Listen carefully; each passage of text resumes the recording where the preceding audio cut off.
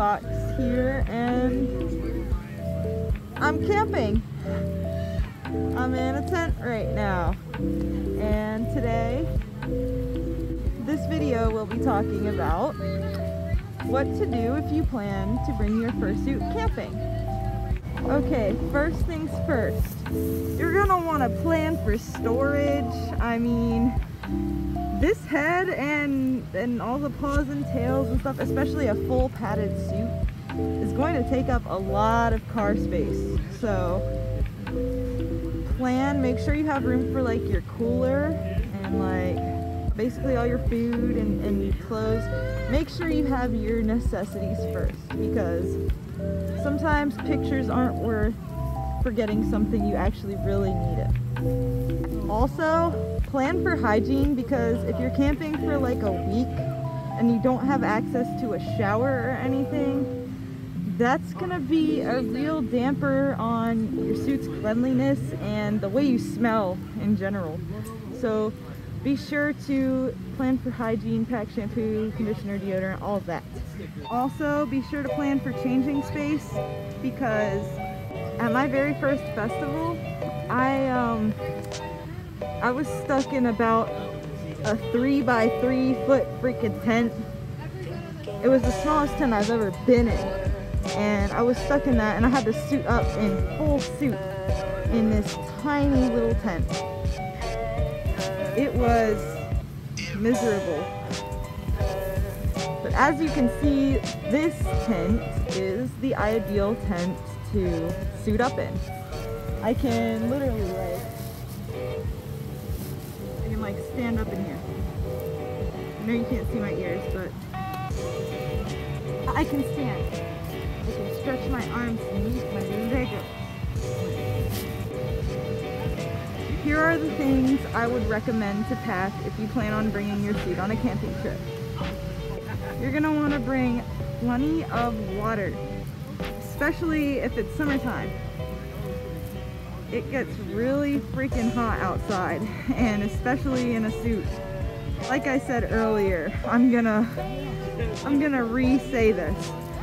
Bring deodorant because if you don't have access to a shower, you're gonna make your whole camp offended by the way you smell.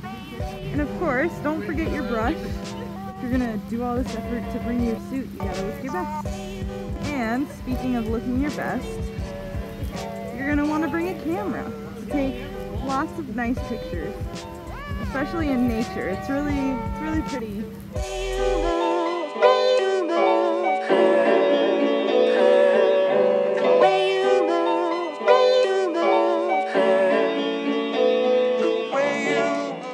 Also, if you have it, you can bring fursuit spray or even just alcohol diluted with water. It's just something to clean your suit after you vigorously sweat in it. this is my personal spray and it's honey lemon.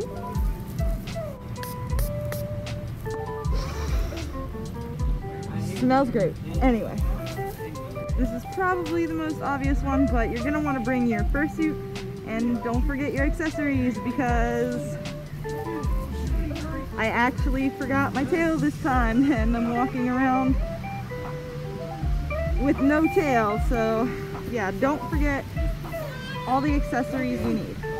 You're gonna wanna bring a mini fan or maybe a little tiny like AC thingy to cool off when you're done because it's hard to escape the heat when you're camping and you're stuck outside.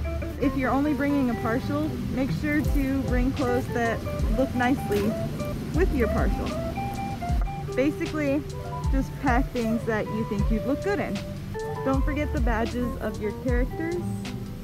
And if your maker gave you any business cards, it'd be nice to take them along and spread the word that your maker makes suits. So yeah, that's what you're gonna wanna do if you bring your suit camping because this is like my fourth time doing it and it's exhausting and I figured I'd make a video about it really quick. Be prepared. It's a hassle, but it's worth it, especially seeing the smiles of other campers. That's all for this video. Sorry about the background noise. I'm at a campground I hope you enjoyed and I really look forward to making my next video. See ya!